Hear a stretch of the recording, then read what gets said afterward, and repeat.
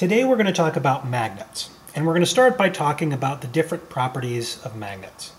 So we've all played with refrigerator magnets before, and you probably know, and you've probably known since elementary school, that magnets have two poles. They have a north pole and a south pole, and that the opposite poles are going to attract each other.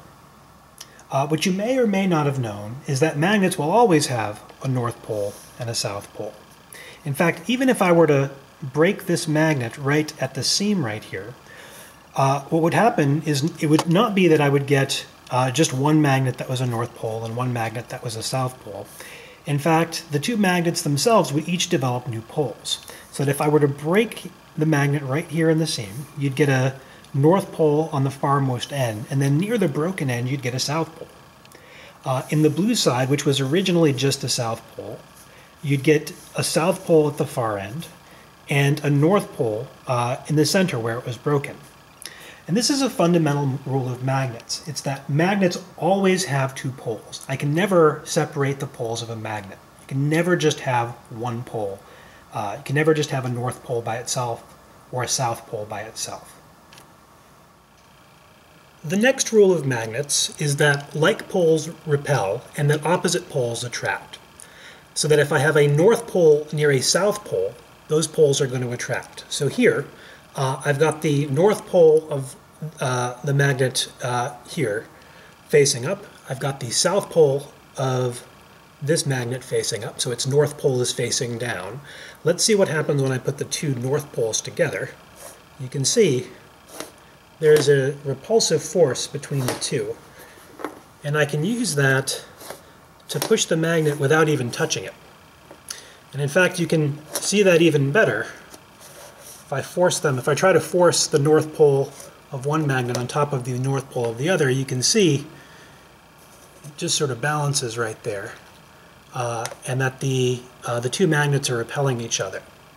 Now let's contrast that by taking the north pole of this magnet and facing it to the south pole of the other magnet. And you can see, even from a distance, there's a, an attractive force that pulls them together. Another property of magnets is uh, very similar to the electric force.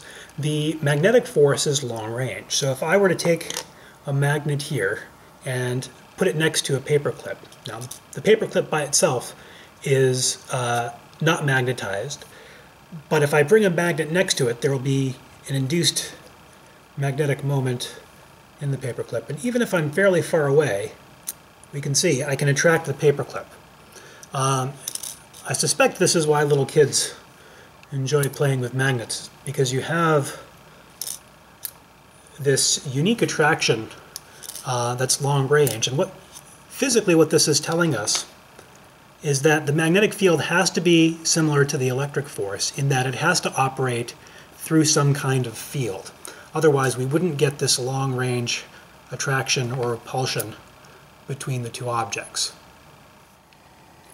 While the magnetic force is similar to the electric force, there are some definite differences.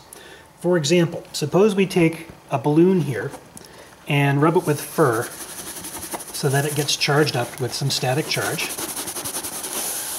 can hear that static charge there. Uh, if I were to if I were to take a magnet next to the balloon, you can see the magnet does not exert any sort of appreciable force on the balloon. So magnetism and electricity are definitely different uh, entities. I can't just have an electric charge that's static and attract it with a magnet. One of the well-known uses of magnets is in uh, compasses. So we know that the Earth has a magnetic field. In this case, north is pointing in a that way direction. And regardless of which way I rotate the compass, you can see that the north pole of the magnet is pointing in the same direction. Uh, the reason is that Earth has its own uh, magnetic properties, and it has its own magnetic field, which points in this, this direction, which my uh, compass magnet is aligning with. And the compass will continue pointing in that direction uh, no matter which way I try to rotate it, uh, unless I try to bring in some other magnetic field that's stronger than Earth's magnetic field. So if I were to bring in my, um, my bar magnet over here, you can see that my north pole, uh, as I rotate it around, I can bring, I can drag that magnetic compass needle with me. And if I were to switch it to the south pole, you can see the compass needle flips around. Uh, give it a second to calm down. Calm down. Oh, that just made it worse. Uh, but whichever pole uh, on the magnet, so here we have the south pole, uh, that's going to face the north pole of the compass needle. And if I flip it around, you can see that the magnetic compass needle flips as well. So what have we learned so far? Well, we've learned that there's always two poles, and that even if I take a magnet and I break it in half, there will still be two poles, because the part that gets broken uh, on the north pole end would get a south pole on the broken end, and the south pole side of the magnet, once it's broken, the broken side will become a north pole. So we always have two poles. There's no way I can have a magnet that doesn't have two. The other things we know, and most of you have probably known this since elementary school, is that like poles repel, opposites attract, so that if I put two like poles next to each other, we know that there's going to be a force uh, from magnet 1 on magnet 2, and then an equal and opposite force from magnet 2 on magnet 1. However, if I put two opposite poles together, we're going to get exactly the opposite case, where force 1 on 2 will point toward uh, magnet 1. And force 2 on 1 will point toward magnet 1 so that the magnets are going to come together. We've also learned that magnetic forces are long range. So that if I have a magnet some distance away from an object, there's still going to be a force attracting those uh, two objects together, a magnetic force that together.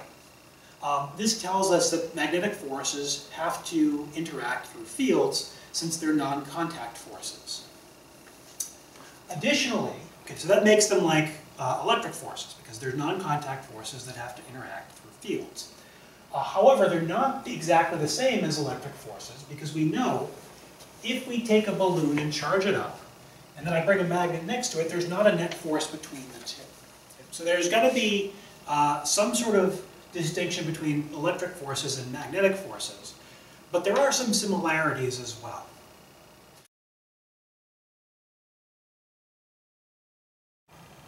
We can visualize the field created by a magnet uh, just by using a compass and seeing which direction it points. So right now, the field is pointing out uh, to the right, as you can see, because the compass needle is pointing to the right.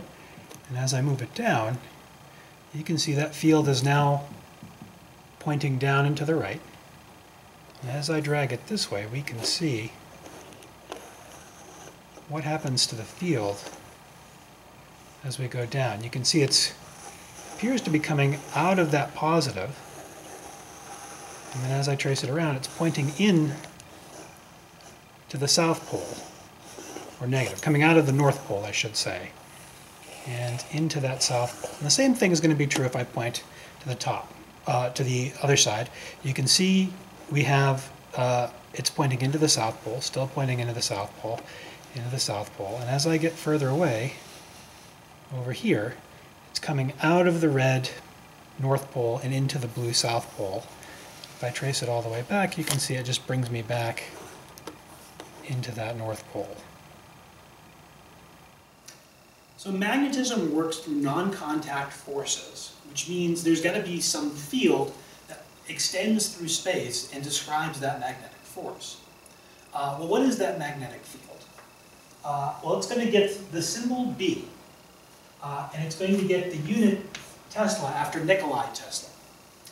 Uh, and that magnetic field, we can map out just by taking a magnet, a bar magnet, North Pole, South Pole, and looking at how the magnetic field affects a compass needle. So when we put the compass needle near the North Pole, it came out of the North Pole, and then it looked like it was pointing down and into the South Pole. And if I trace these lines out, we get a picture of a magnetic field that looks like this. It appears to be coming out of the North Pole and into the South Pole.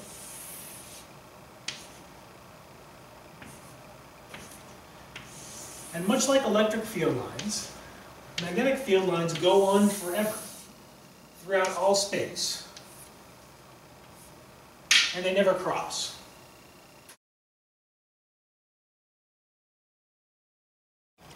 While electricity is not the same thing as magnetism, the two are very much related.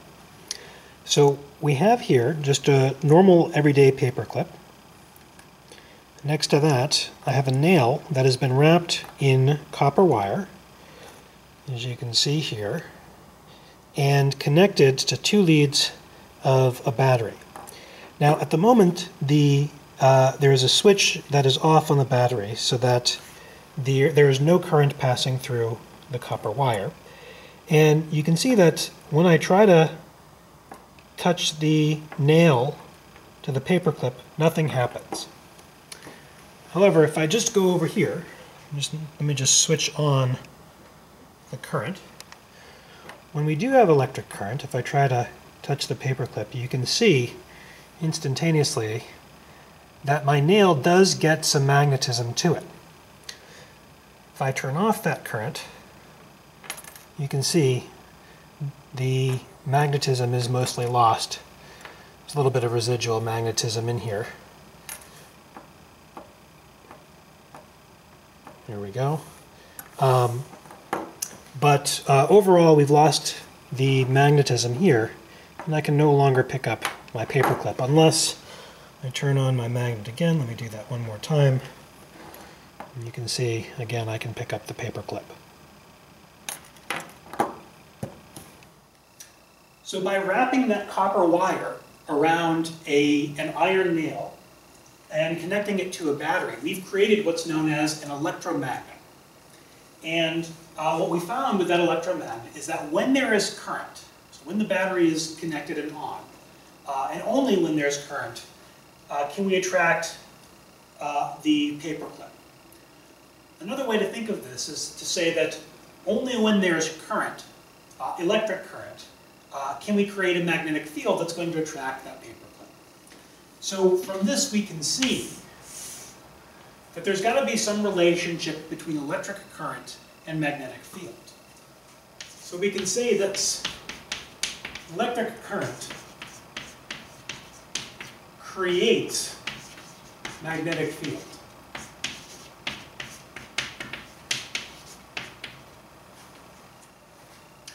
I want to emphasize this.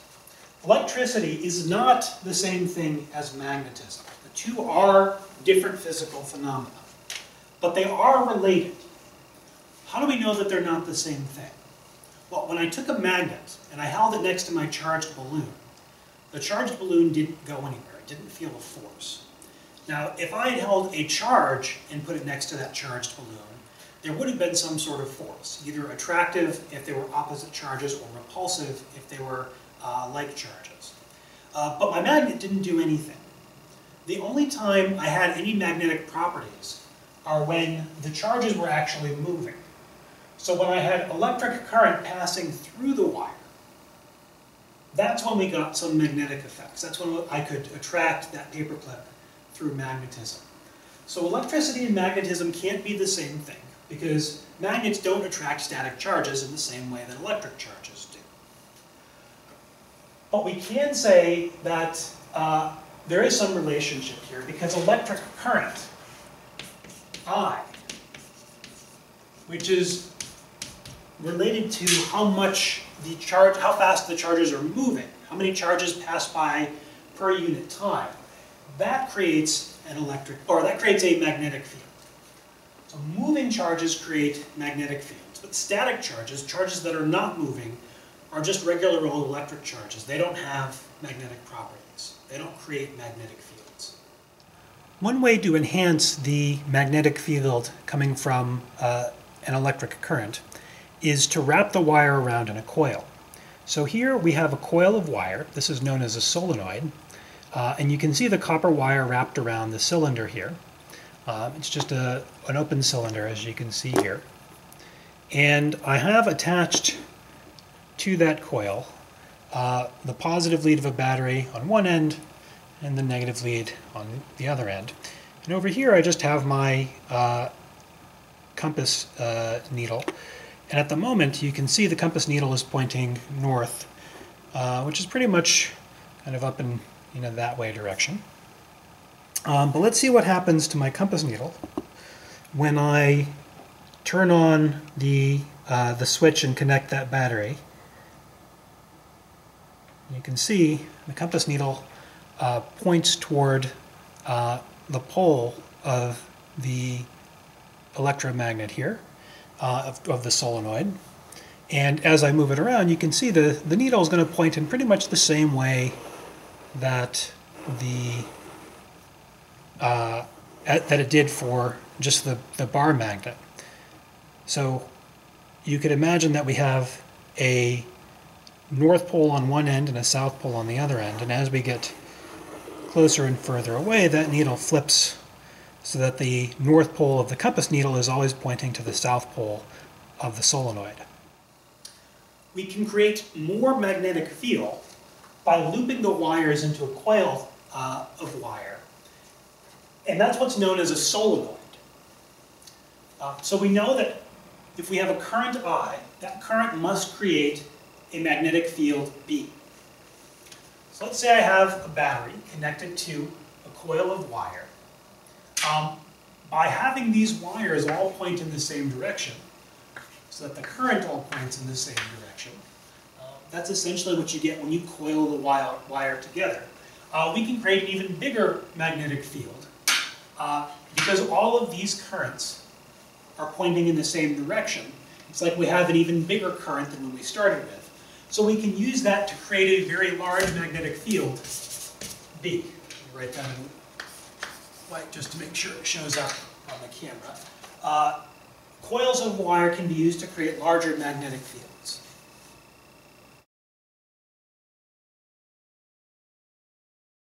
What direction does a current carrying wire create a magnetic field?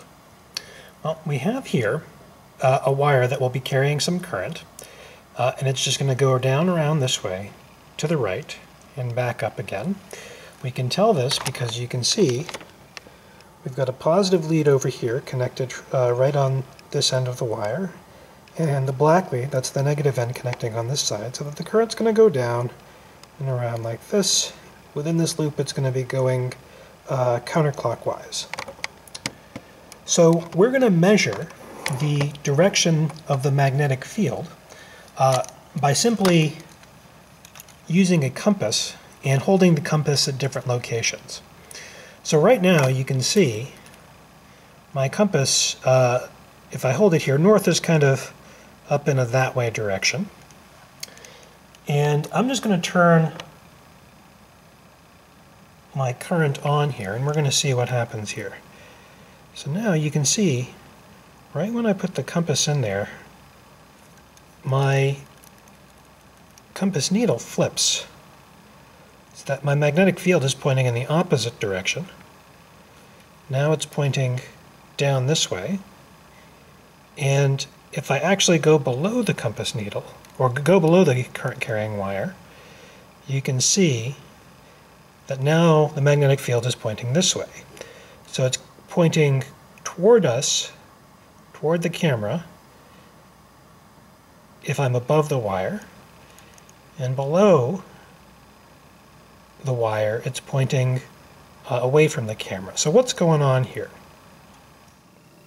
One of the important uh, questions you are going to have to answer in this course is which direction does the magnetic field point uh, for a given direction of the current. So we just showed current pointing to the right, and we showed that the magnetic field above the wire uh, came out toward you. And the magnetic field below was going uh, in uh, into the board as I've drawn it over here. So over here, it's out of the board. And over here, underneath the wire, it was into the board.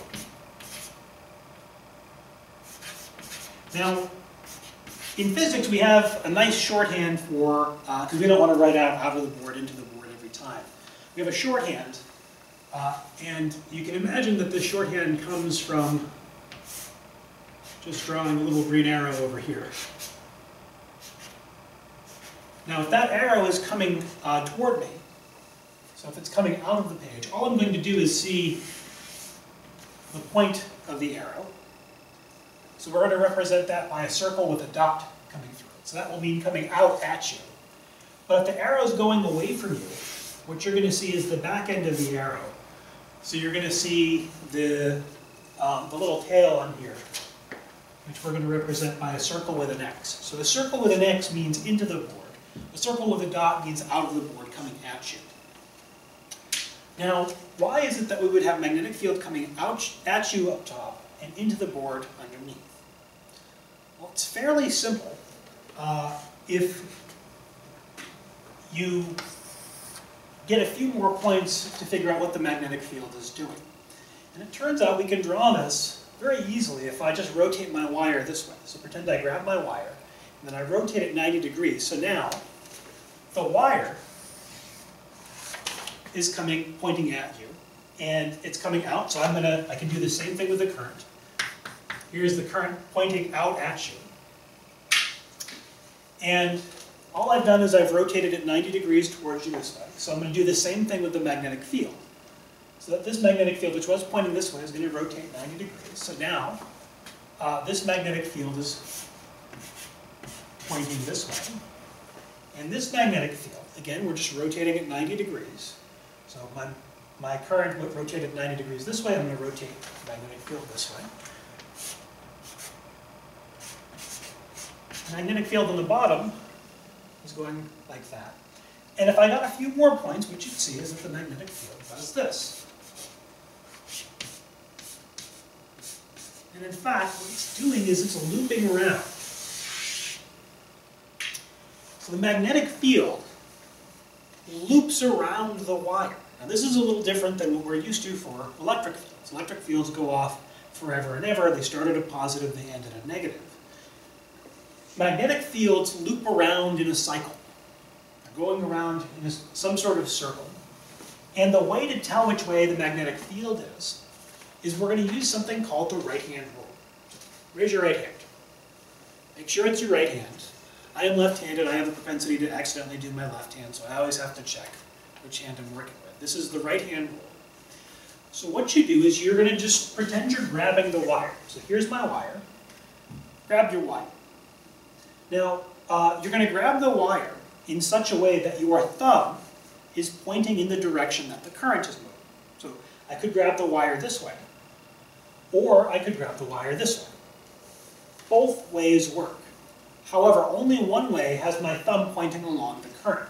Okay, so I want my thumb pointing along the current, I've got to hold the wire this way. If I grab the wire this way, my thumb points to the left, but the current points to the right, so that doesn't work. So we're going to grab the wire this way. Now you'll notice that your fingers curl around the wire. Uh, your non-thumb fingers curl around the wire. And they're going to curl around in exactly the same direction that the magnetic field curls around it. So my fingers, if I grab the wire like this, are coming out up top. But then, excuse me, um, too much chalk dust.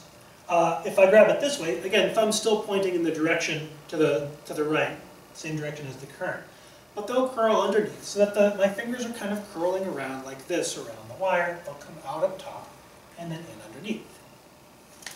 I can do the same thing over here. Again, I just grab my wire, point my thumb in the direction of the current. So again, circle dot means out of the board. Uh, I can't put my, I can't grab the wire this way because then my thumb is pointing into the board and I want it to point with the current out of the board. Again, my fingers curl around in the direction that the magnetic field goes, and in this case, that's just going to be counterclockwise. So we can use this right-hand rule to figure out what the direction of the magnetic field is going to point.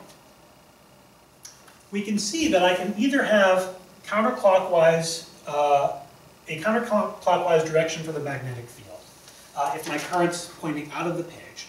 However, if my current's going into the page, the magnetic field, again, just grab the wire, use the right-hand rule, point your thumb in the direction into the board, because that's the direction that the current then my fingers curl around like this, so the magnetic field has to curl around like that as well in the clockwise direction. So the direction of the magnetic field uh, just depends on the right-hand rule, and it'll be different depending on whether the current is going into the page or out of the page.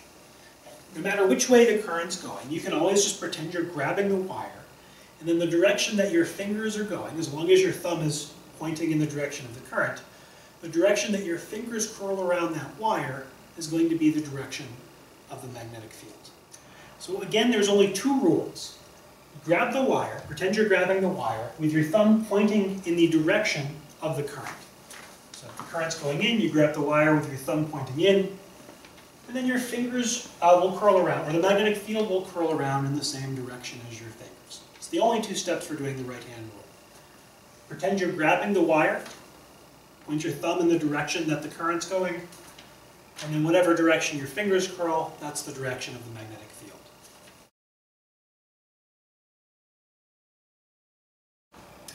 So that's the direction of the magnetic field. How large is the magnetic field? Well, we can write the size of the magnetic field using Ampere's law. And Ampere's law measures the magnetic field at some distance r, some radial distance r, away from the wire. So if you have a very long straight wire, then your magnetic field will have a magnitude given by mu naught, that's the Greek letter mu with a subscript 0, times the current I, so more current gives you more magnetic field. If you have no current, you're not going to have any magnetic field. Divided by 2 pi, um, and one more thing goes into this. We expect that the further away you get from the wire, the weaker the magnetism is going to be. So we divide by r over here. So the magnetic field equals mu naught times the current divided by 2 pi times r. Uh, and that mu naught is a constant. Mu naught equals 4 pi times 10 to the minus 7 Tesla meters per ampere, where you should remember that an ampere is the unit of current. So that when I plug into that mu naught uh, and multiply by a current, say 3 amps, the amperes will cancel. The meters from R will cancel with the meters from the mu naught, uh, so that you'll just get Tesla, which is the units of magnetic field. To get a sense for the different sizes and different magnitudes of magnetic fields, uh, it's helpful to go through a few different examples. So we know Earth has a magnetic field. Uh, its magnetic field in Tesla is going to be about 5 times 10 to the minus 5 Tesla. Uh, so that's a fairly weak magnetic field, but it's enough to turn a compass needle. Uh, if you contrast that with a refrigerator magnet, so these are just the magnets that you stick on your refrigerator, uh, those have a magnetic field of about, of about 5 times uh, 10 to the minus 3, so that's about 100 times bigger than Earth's magnetic field. If I go a thousand times bigger than uh, a refrigerator magnet, uh, you get something close to an MRI that's about 3 Tesla. Uh, that's enough to erase the magnetic strip on your credit card. So it's enough to erase your credit card if you're within a few feet of that. So that's usually why if you go into a, a room that has an NMR or uh, an MRI machine, they ask you to leave all your credit cards and uh, jewelry and any pieces of metal uh, away because you could cause serious damage. Obviously, if you have like a, an earring uh, that has some iron in it that's loosely magnetic, you can, uh, if it's a strong enough attraction, that could rip right out of your ear. Um, higher than that is uh, a superconducting magnet uh, which gets up to about 10 Tesla. That's getting close to the limit of what we can uh, produce uh, on the Earth magnetic field-wise, is about 10 to 20 Tesla uh, magnets, uh, magnetic fields.